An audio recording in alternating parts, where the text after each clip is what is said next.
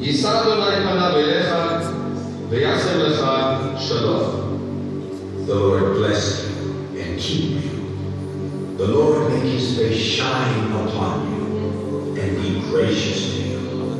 The Lord lift up his countenance upon you and give you peace.